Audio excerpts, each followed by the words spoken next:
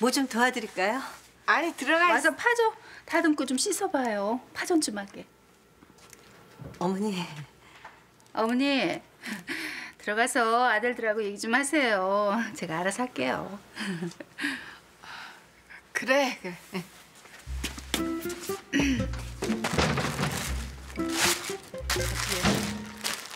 파는 좀 다듬어 봤어요? 아니요? 아니 그 나이 먹도록 아직 파 한 번도 안 다듬어 봤어요? 네. 어떻게 하면 돼요? 이 파를 잡고 이렇게 칼로 요 끄트머리를 이렇게 떡 잘라내면은 어? 이렇게 털어가지고 물로 깨끗이 살살살살 어? 닦아내면 돼요. 어? 할 수 있죠? 글쎄요.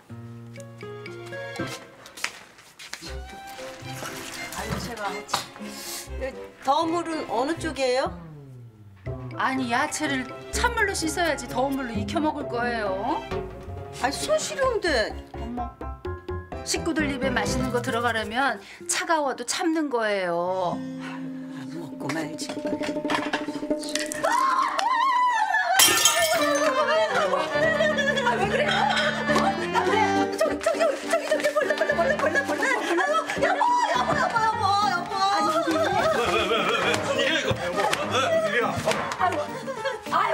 바퀴벌레 때문에 그래요? 아, 저, 저리 치워요 저리 치워 아니 조그만 바퀴벌레 하나 때문에 이렇게 난리법석을 펴요 세상 아니 무서우면 이 바퀴벌레가 더 무섭지 아니 얘보다는 그쪽이 등치가 몇 배가 더 큰데 세상에 이쪽은 걔 못 죽여도 그쪽은 얘 죽여요 아이고 세상에 아줌마, 아줌마가 바퀴벌레 엄마라도 돼요?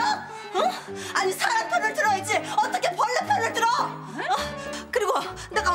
언제 이런 걸 봤어? 어? 내가 아줌마처럼 지질이 궁상처럼 그렇게 살아봤어? 어? 내가 그러니까 이게 바퀴벌레인지 뭔지 내가 어떻게 알아? 아줌마? 허, 이 아줌마가 정말 아줌마 오늘 한번 이 파, 파뿌리로 한번 맞아 안 던지기만 해. 박정신, 박정신! 이리 나와. 당신도 나와.